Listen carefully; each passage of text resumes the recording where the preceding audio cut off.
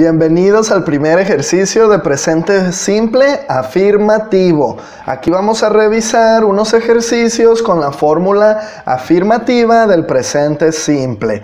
Así que vamos a ver cómo se utiliza la fórmula y la estructura. Aquí tenemos un ejemplo.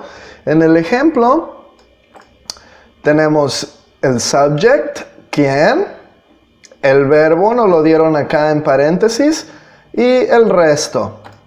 Con I, el verbo no cambia, swim, así que la respuesta es I swam in the lake.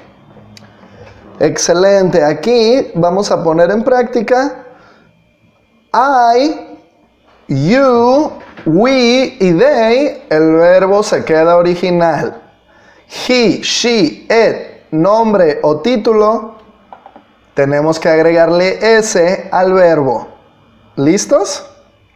Number one, we, we, we es plural. El verbo se queda igual. Este es el verbo de call, el verbo de llamar por teléfono. We call our dog. We es plural, el verbo no necesita cambiar, se queda igual. We call our dog. Number two, Emma. Emma es un nombre. Hay que asegurarnos que sea singular. Emma, ¿es solo una persona? Sí. Nombre es she. Ok, le tenemos que agregar al verbo una S. Aquí está nuestro verbo soñar. Dream. Emma, dream. Y aquí está nuestra S que le tenemos que agregar. Dreams. Emma dreams in the lessons. Emma está soñando en las clases. Ok. Emma sueña. They. They es plural. El verbo es look. Se queda igual. They look at birds. Look es el verbo de mirar. Next, otro nombre. John. O puede aparecer como he. El verbo es come. Home from school. Tenemos que agregarle la S a nuestro verbo. Comes. John comes home from school. Number five. I I, el verbo se queda igual, el verbo es meet, de conocer o ir a toparse. Meet, I meet my friends. Number six, he. Excellent. He, singular, tercera persona, tenemos que ponerle una S a nuestro verbo. El verbo es repair. He repair, repairs the laptop. He repairs the laptop. Excellent. Ok, tenemos un nombre, number seven, Walter and Frank. No es un nombre singular, son dos.